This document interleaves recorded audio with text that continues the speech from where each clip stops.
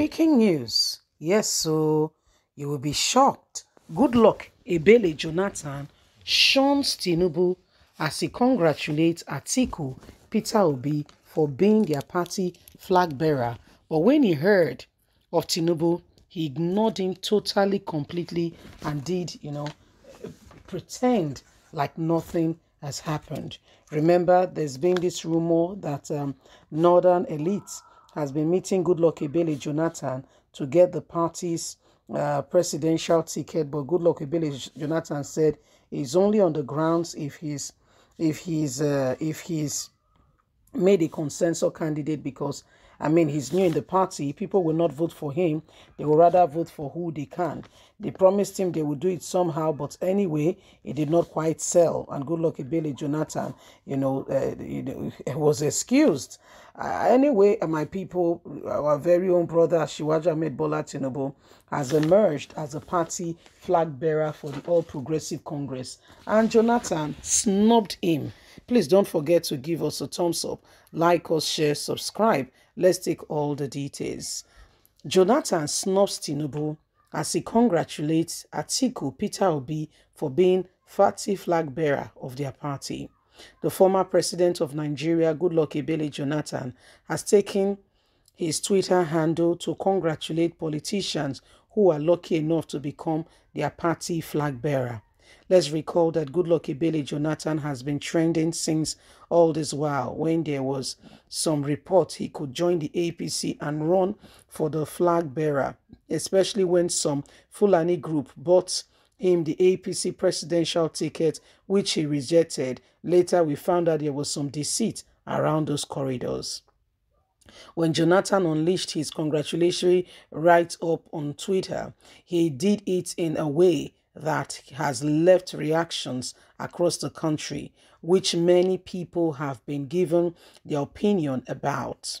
In his write-up, Jonathan expresses congratulations to Peter Obi, the party flag bearer for Labour Party, Atiku Abubakar, the flag bearer for the People Democratic Party, without mentioning Tinubu, who was only uh, who was the who was only flag bearer yesterday. So fresh, he, he took time to congratulate others, even in this season, and totally, completely forgot or pref preferred not to mention Tinubu, who has just been elected as the flag bearer for his party, APC.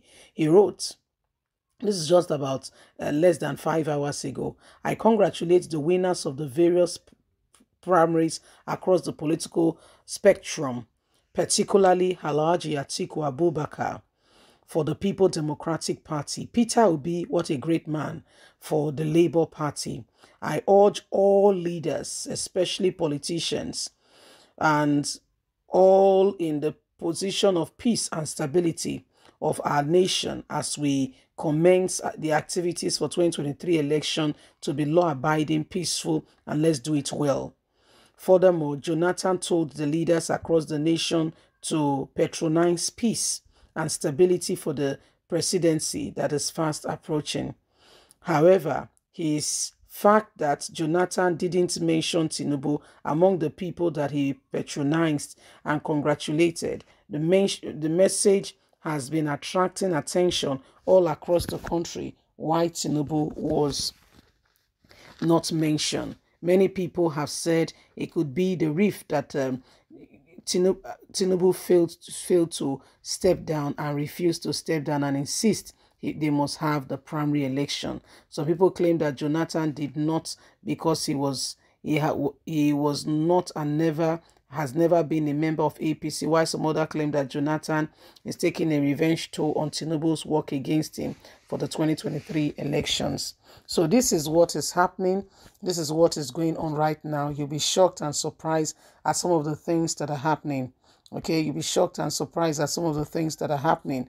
Good luck, Billy Jonathan, you know, has now been, you know, uh, has now been, you know, has Uh, uh, I mean, he's been trending, you know, when he congratulated others and failed to mention our very own brother Tinubu, who just who just became, you know, the party flag bearer for his party yesterday. Jonathan just, you know, just snubbed the guy totally, completely, and pretended like the guy was not there.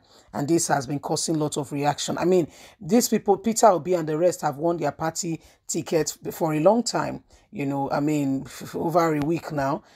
Tinubu zone was fresh. And Jonathan pretended like, you know, he can't, he did not even, he's not aware he particularly, you know, went there and put, put there that ah, I congratulate, you know, the great men who have won their party ticket. He particularly mentioned, you know, Peter Obi, uh, you know, particularly mentioned Atiku Abubakar and encouraged Nigerians to be peaceful, law-abiding as they go into the election. And guess what? Pretended completely, totally like, you know, who is there? You know that kind of feel. Like who is there? Who goes there? You know, just ignored the guy totally, completely. And the fact that he ignored him is what has been causing a lot of reactions as Nigerians are wondering, ah, ah, what did the guy do you? You know, that kind of thing. You know, congratulated Peter Obi, congratulated Atiku Abubakar, and avoided completely, totally, you know, uh, our very own brother who just got his own, you know, who just got his own, uh, uh, uh who just became his own party flag bearer.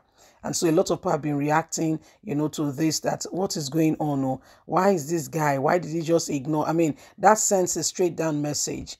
Okay, it's better you don't congratulate everybody, anybody. Just keep quiet and just continue with business as usual rather than going to congratulate one and leaving another you see? So i mean that has really you know that has not really gone down well and has sparked up a lot of reactions. A lot of people are wondering okay a lot of people are wondering ah, what did they do to you know jonah jonah jonah? And jonah just you know i mean all kinds of reasons why that could have happened okay? All kinds of speculations probably you know because i mean tinubu was one of the heavyweights who said they must have the elections. Come rain come shine we must have the elections, okay? So Tinubu particularly insists on the party. They wanted to put a consensus candidate. You could use this though.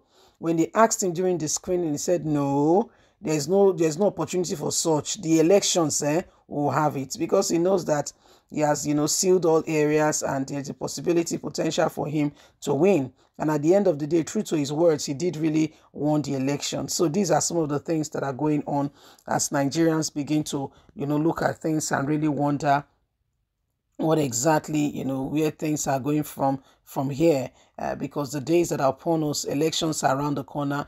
Everybody anybody will do everything humanly speaking possible to ensure that you know they are the ones you know who determine and who become you know the flag bearer uh, i mean who becomes the winner. The time for flag bearer is over. Leave us a comment. God bless. Bye for now